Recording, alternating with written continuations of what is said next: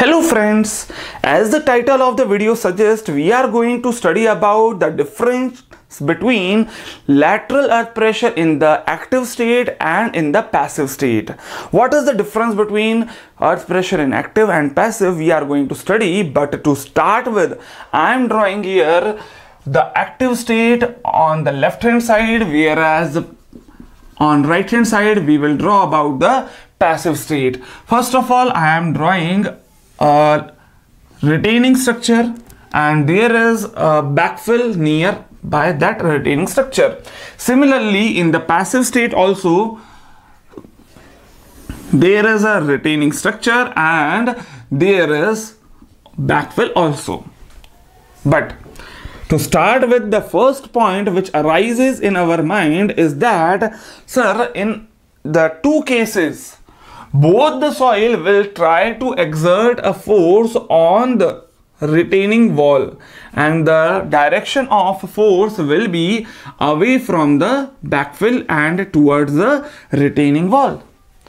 But if this is the horizontal stress acting on the wall and this is also the horizontal stress acting on the wall, among the two cases, which of the two cases will have greater horizontal stress. The question is very obvious that which of the following two horizontal stress will be more either in active or in passive. The answer is very simple. If we study about the direction of the net force on the soil and on the retaining wall. According to the definition, this soil will be said to be active if the net force on this particular wall will be in this direction. Whereas this soil will be said to be passive if the net force on the wall is in this direction. In this particular case, you can see that the net force on the wall and on the soil are in the same direction and in this particular case, the net force are in opposite direction. What will be the difference in these two cases? It is very simple to observe and understand. If we observe the net force between our two hands, but the case is that this left hand is trying to move in this direction and right hand is also trying to move in this direction. You can also observe with your hands that if both the hands are subjected to a net force in this direction, the net force between these two hands, the contact pressure will be very less. But if these two for the retaining wall is left hand and the soil is right hand. These two are subjected to the force in opposite direction. That means both are trying to move in opposite direction and hence the contact pressure will be more. So we can easily say that in the passive state horizontal stress will be more and it is observed that horizontal stress is found to be more than the vertical stress in the case of passive state. Whereas in the active state horizontal stress is found to be lesser than the vertical stress. If we are observing an element of the soil it will be subjected to horizontal stress in this direction and vertical stress in this direction. As in the active state we can see that the horizontal stress is smaller. We can easily say that horizontal stress will be the minor principal stress as it, as it is smaller and it will be written as the sigma 3 whereas vertical stress is more hence it will be written as the major principal stress and it will be denoted by sigma 1 for the active state. Similarly, in this particular case, sigma h dash is more, hence it will be known as the major principal stress and it will be now onwards denoted as sigma 1 whereas vertical stress is smaller it will be known as minor principal stress and it will be denoted as sigma 3 so I got, I hope you got this particular difference and now I am moving to the next difference. Suppose there is a failure surface that is completely formed in these two soil. there is another failure surface in this soil also. Then the question arises that at the time of failure this wall will move in this direction. This wall will move in this direction. And if the wall is moving in this direction the soil which is present above the failure surface will try to move in the downward direction. With respect to this soil. And the movement of the soil will be resisted by its surrounding soil.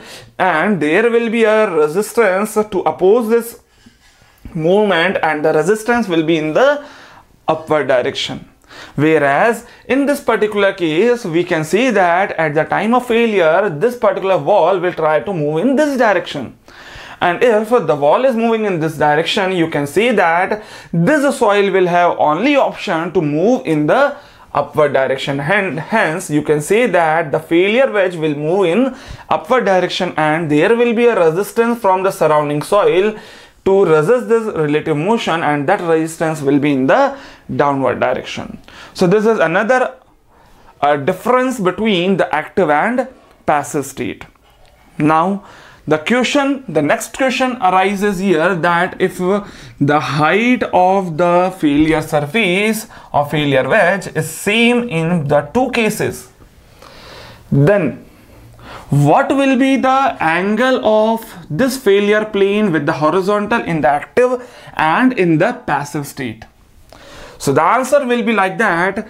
We have already studied in the shear strength chapter that an angle between failure plane and the major principal plane is known as theta which was denoted as a phi by 2 plus a pi by 4 this was nothing but this was the angle between failure plane and major principal plane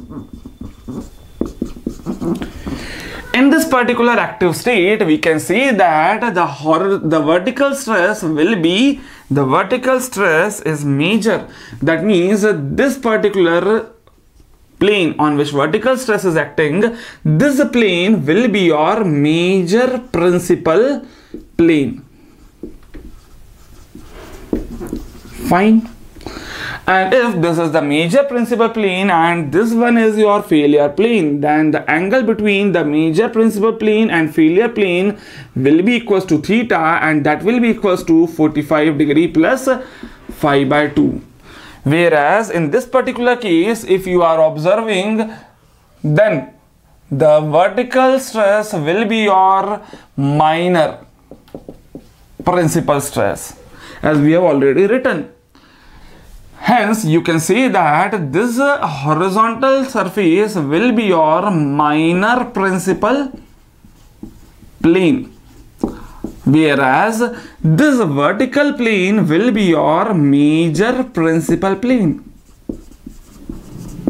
in the passive state and we already know that the angle theta is between the major principal plane and the failure plane. And hence you can see that this angle will be theta. If this angle is 90 degree you can easily say that this angle will be equals to 90 minus theta. And 90 minus theta will be equals to theta is 45 plus phi by 2 it can be written as 45 degree minus phi by 2 this angle in the active state was 45 phi by 2 whereas in the passive state it is 45 phi by 2 this is again a big difference between the active and passive state. Now the question arises if in both the cases the failure wedge height is the same that is h and h. Then in which of the following two cases the failure wedge will spread more in the horizontal direction? That means in which of the following two cases this distance let in the active state it is LA whereas in the passive state this distance is LP so the next question is in which of the two cases the failure wedge will spread more in the horizontal direction? That means LA will be more or LP will be more?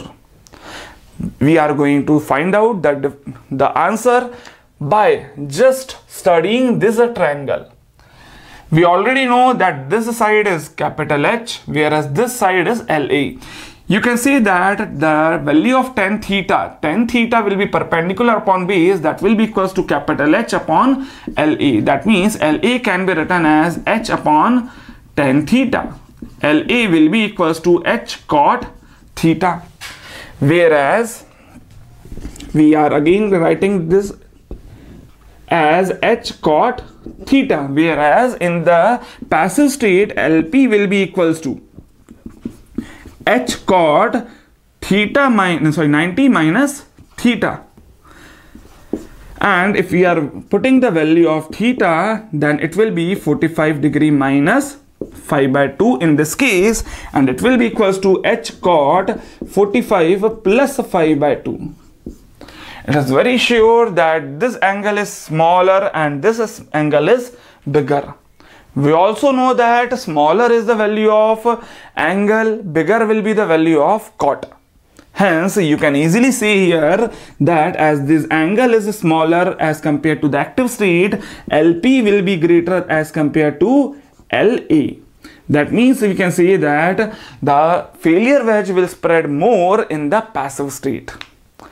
So these were the big differences between the active and passive state. I hope you all understood these points very well along with the reasons of these points. These differences will help you not only in the objective exams in the form of small one mark questions as well as in the conventional questions. I hope you all understood this particular lecture. We are going to start with the Rankine's earth pressure theory in our next video. Till then, पढ़ते रहे बढ़ते रहे happy